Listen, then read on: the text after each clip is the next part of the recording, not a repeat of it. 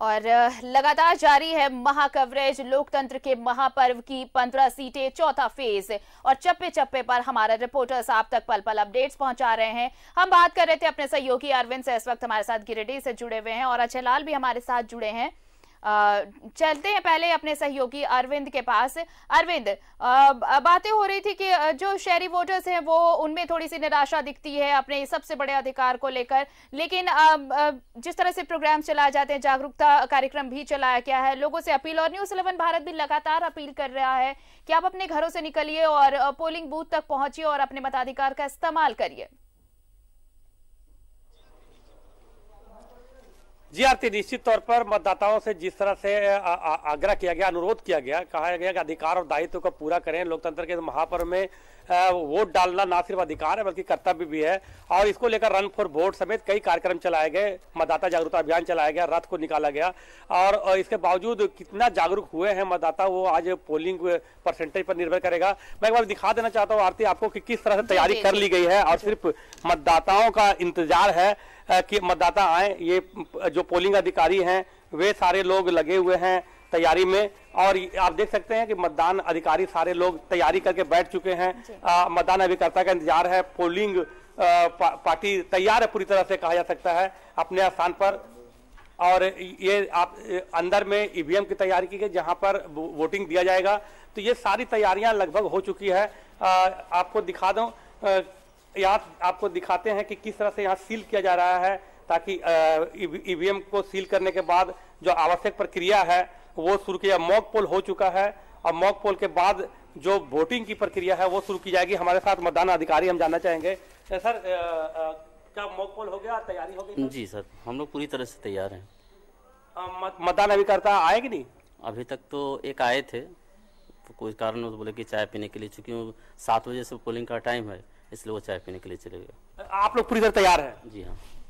तो आरती जो पीठासीन पदाधिकारी है मतदान अधिकारी है वे लोग पूरी तरह तैयार हैं और इन लोग अब इंतज़ार कर रहे हैं कि जो जो पोलिंग अभी करता है वे हम्म। पहुँचे और जो मतदाता है, वे पहुँचे सात बजे, ठीक सात बजे यहाँ पर मतदान की प्रक्रिया शुरू कर दी जाएगी। मॉक पोल समेत सारी चीज़ें हो चुकी है। ईवीएम को सील कर दिया गया है और अब अब उम्मीद है किया रही है कि बड़ी संख्या में मतदाता निकले और अपने मताधिकार का प्रयोग करें। जी आरती। बिल्कुल अरविंद, और उम्मीद की जानी चाहिए कि वोटर्स जो है, वो अपने घरों से निकलेंगे, पोलिंग बूथ तक पहुँचेंगे और अपने मताधिकार का इस्तेमाल करेंगे।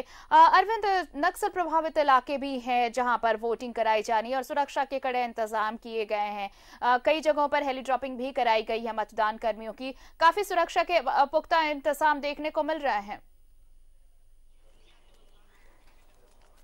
जी, आती मैं बता दूँ कि गिरिडीह नक्सल प्रभावित इलाका है। इस गिरिडीह में पीरटाण गिरिडीह और मुफसिल क्षेत्र आता है और पीरटाण के कई इलाके नक्सल प्रभावित है। 22 मतदान केंद्रों पर हेलीकॉप्टर से मतदान कर्मियों को भेजा गया है। उसके लिए क्लस्टर बनाए गए हैं। और सुरक्षा की बात की जाए तो चाक चौबंद व्यवस्था की गई है। यूँ कहे कि जो नक्सल प्रभावित इलाके है, उसे पुलिस छावनी में तब्दील कर दी गई है। चप्पे चप्पे पर पुलिस बल की तैनाती की गई है। मतदाताओं को घरों से निकाला जाए। मतदाता बेखौफ होकर मतदान कर सके, इसको लेकर बूथों में पैरामिलिट्री फोर्स के जवानों को तैनात किया गया है। तो कहा जा सकता है कि प्रशासन की ओर से सभी आवश्यक तैयारियाँ पूरी कर ली गई है और उम्मीद की जा रही है। आप देख सकते हैं कि शहरी क्षेत्र के जिस मतदान केंद्र में है, वहाँ भी सुरक्षा बलों को लगाया गया है कि लोग आए और मतदान करें। तो दे, देख सकते हैं कि सभी तैनात है और सात बजते ही सभी एक्टिव मोड में आ जाएँगे आ रहे हैं अरविंद हम लौटेंगे आपके पास लेकिन गिरिडीह से ही हमारे सहयोगी अजय लाल भी जुड़े हैं। उनके पास चलते हैं। अजय अब बहुत कम वक्त बचा है आ, आ, वोटिंग शुरू होने में आ, 20 से 25 मिनट का वक्त और जब वोटिंग शुरू हो जाएगी 20 मिनट के बाद। आप कौन से पोलिंग बूथ पर खड़े हैं और फ़िलहाल क्या कुछ तस्वीरें वहाँ पर?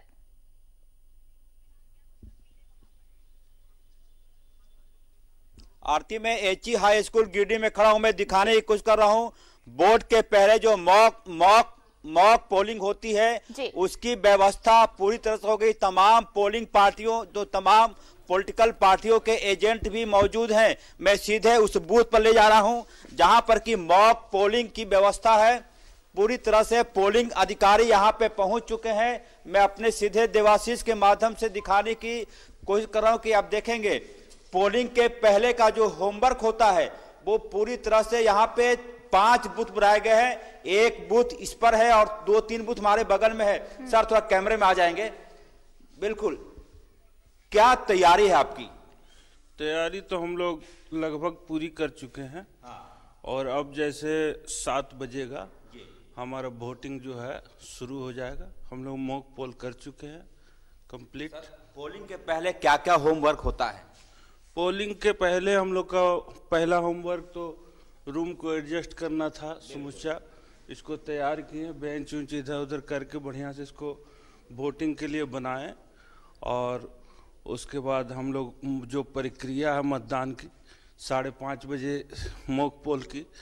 तो कोई एजेंट नहीं आए थे तो हम लोग वही लगभग पौने छः बजे के बाद लगभग हो गया है। हाँ। आरती मैं दिखाने को हूँ कि ईवीएम जो मॉक पोलिंग के बाद जो सील होता है वो इतना ज़्यादा इसमें कागजात होते इतने ज़्यादा डॉक्यूमेंट्स होते हैं इतने ज़्यादा हस्ताक्षर होते हैं कि थ्री प्लस वन यानी कि पहले पोलिंग अधिकारियों के हस्ताक्षर होंगे उसके बाद जो विभिन्न पॉलिटिकल पार्टी के अधिकारी होते हैं उनके हस्ताक्षर होते हैं और उसके बाद ये तमाम देखेंगे पर्ची हालाँकि मैं छू नहीं रहा हूँ अब देखेंगे तमाम जगहों पर लिखा रहता है कि किस बूथ पर ये पोलिंग ये ईवीएम मशीन रखा गया था और कहाँ पे कितने वोटर्स हैं तमाम चीज़ों की जानकारी होती है।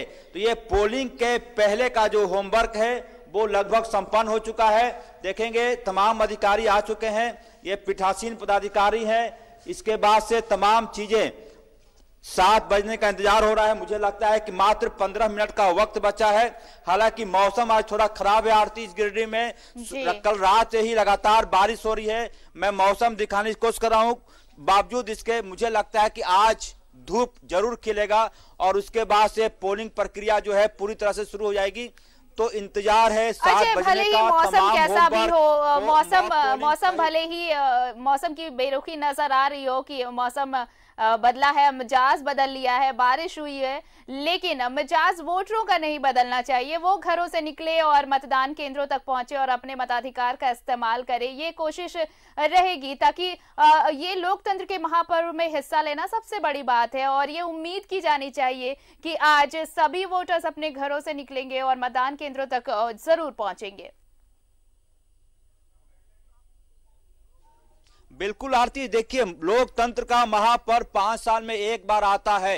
लिहाजा यहाँ के जिला प्रशासन और तमाम अधिकारियों ने पूरी कोशिश की है कि कम ज़्यादा से ज़्यादा वोट यहाँ पे टर्न हो। इसके पीछे की वजह यह भी है कि गिरिडीह ज़िले में पाँच विधानसभा क्षेत्र है और आज जो पंद्रह सीटों पर इलेक्शन हो रहे हैं वोटिंग हो रही है।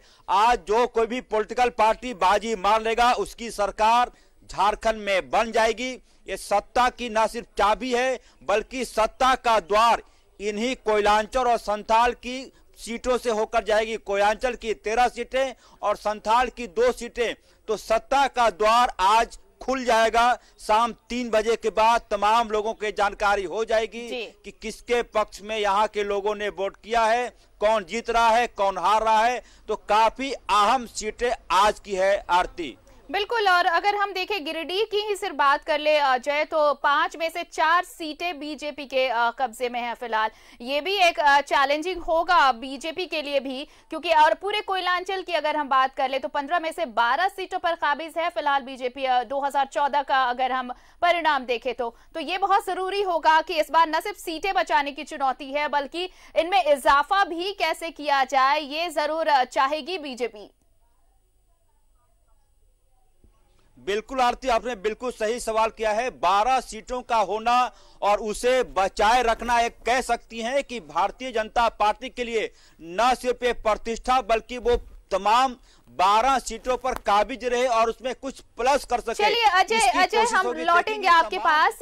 चलते सीधे अरविंद के पास। गिरिडीह से ही हमारे साथ जुड़े हुए उनके पास वोटर पहुँचे हैं और अभी वक्त थोड़ा बचा है जब वोटिंग शुरू होगी। अरविंद अगर मेरी आवाज़ आप तक मिल रही हो तो आपके पास वोटर्स की कतार लगनी शुरू हो गई या आप जिस पोलिंग बूथ पर है जरा तस्वीरें दिखाएँ वहाँ की?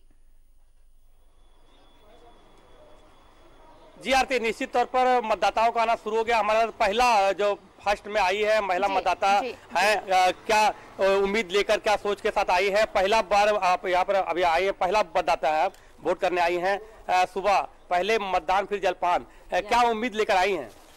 हमारा उम्मीद ये है कि हमारे जो जनप्रतिनिधि चुन कर आए वो ऐसे हो वो निजी स्वार्थ छोड़ के हम अपने समाज हित के लिए अपने देश के हित के लिए कार्य करें वैसा कार्य करने वाले को हम चुनने के लिए आए चुनने के लिए आए हैं। तो आप देख सकते हैं आरती कि सब सारे लोग आ चुके हैं मतदाता कतारबद्ध होने लगे हैं और पहला वोटर है सिर्फ़ सात बजने का इंतज़ार है। जो। ही सात बजेगा मतदान की प्रक्रिया शुरू हो जाएगी। और मतदाताओं का आना शुरू हो गया है। सबसे खुशखबरी की बात यह है कि पहला वोटर के रूप में जो यहाँ पहुँची है वह महिला है। जब महिलाएँ घर से निकल सकती है सुबह सुबह तो पुरुष मतदाताओं को भी काफ़ी संख्या में निकलनी चाहिए और उम्मीद की जा रही है कि काफ़ी संख्या में मतदाता निकलेंगे।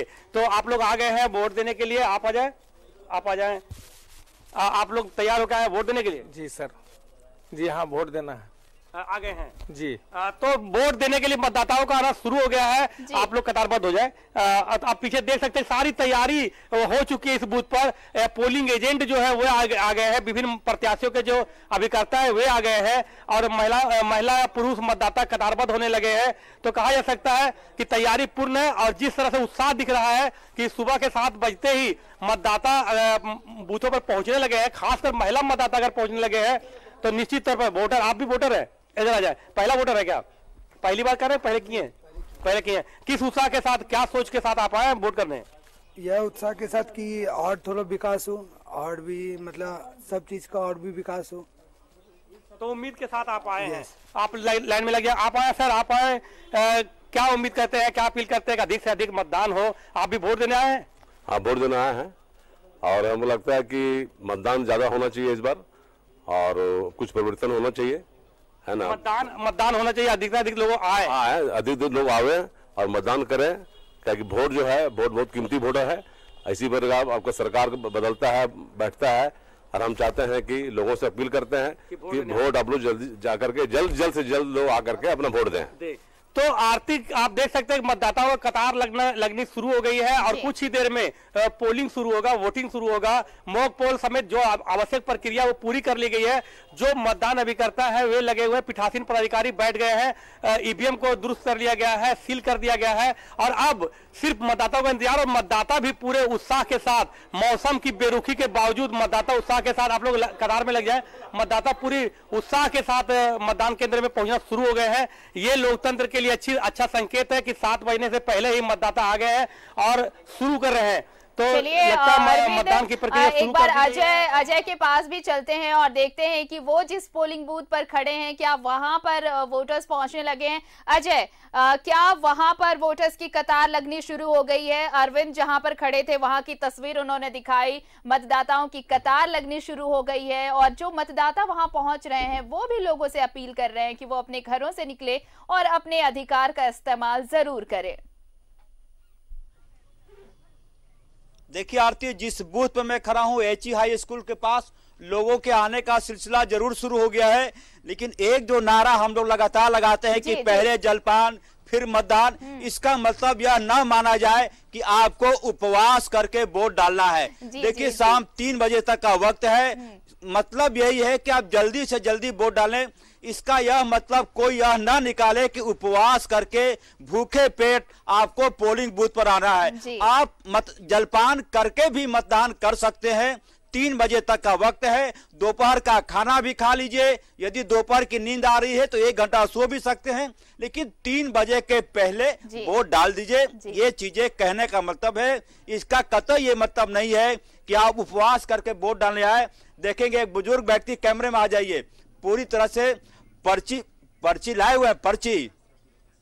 देखेगा ये आरती जिस व्यक्ति से मैं बात कर रहा हूँ उनका क्लास समझने की कोशिश कीजिएगा। देखेंगे पूरी तरह से दिहाड़ी मजदूर। सर क्या करते हैं आप? हम पेंटर है सर। मजदूरी करते हैं। मजदूरी करते हैं। मजदूरी में ये बताइए पकड़ इसको पकड़ लिए कितना पैसा रोज मिल जाता है? मजदूरी में दो सौ अढ़ाई सौ मिल जाता है। सुबह सब वोट डालने आए तो क्या सोच कर आए? हम लोग यही सोच कर आए कि मतदान करना बहुत ज़रूरी है। हाँ। देश का सवाल है। देश का सवाल है। और अच्छा आदमी को चुना जाए हाँ। सच्चाई आदमी को चुना जाए भ्रष्टाचार आदमी को वोट नहीं दिया जाए दिया जाए। और वोट का एक कीमत का एक अरब रुपया से ज़्यादा होता है। देखिए आरती ये बिल्कुल बिल्कुल आरती ये दिहाड़ी मजदूर है आरती। आरती ये दिहाड़ी मजदूर है लेबर क्लास के हैं, लेकिन इनकी बातें इतनी अच्छी हैं, ये कह रहे हैं कि एक वोट की कीमत एक अरब, एक करोड़ रुपया से भी ज़्यादा का है। और ये बोल रहे हैं कि अच्छे व्यक्ति को चुना जाए। कितनी तैयारी थी, क्या सोच रहे हैं? हम लोग यही सोच रहे हैं कि बस जितना से जितना जल्दी हो वोट दे दें। और फिर काम पर भी निकलना। काम पर भी निकल जाए अपना बाल बच्चे की परवरिश करने के लिए। अजय एक छोटा सा सवाल अगर आप उनसे पूछ सके तो बहुत आ, आ, मुझे लगता है कि बहुत लोग भी ये जानना चाहते होंगे कि जब एक जो डेली वेजेस जो हैं वो अगर ये अपनी ज़िम्मेदारी ऐसे समझ सकते हैं कि उनके वोट के मायने क्या है एक वोट की कीमत क्या है वो समझ सकता है तो बाकी लोगों को अगर वो कुछ संदेश देना चाहते हैं न्यूज़ इलेवन भारत की ओर से तो उनसे कहिए कि वो अपील करे बाकी बिल्कुल आरती बिल्कुल। क्या नाम है आपका? राजू दास। राजू दास जी मैं आपको सैल्यूट कर रहा हूँ। आप मेरा नमस्कार स्वीकार करें। आप दिहाड़ी मजदूर हैं डेढ़ सौ दो सौ रुपया कमाते हैं रोज लेकिन ये वोट डालने के लिए सबसे पहले इस एची हाई स्कूल के पास आए हैं और ये कह रहे हैं कि अच्छे प्रत्याशी को चुनकर हम झारखंड विधानसभा भेजे रांची भेजे जो हमारी बात सुने गलत प्रत्याशी का चुनाव न करें।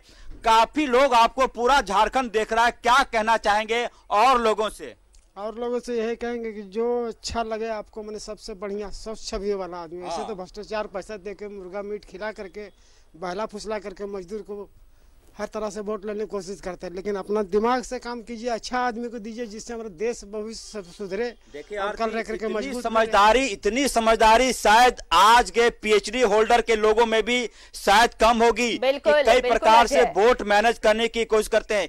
एक बार फिर मैं आपको सलाम करता हूँ।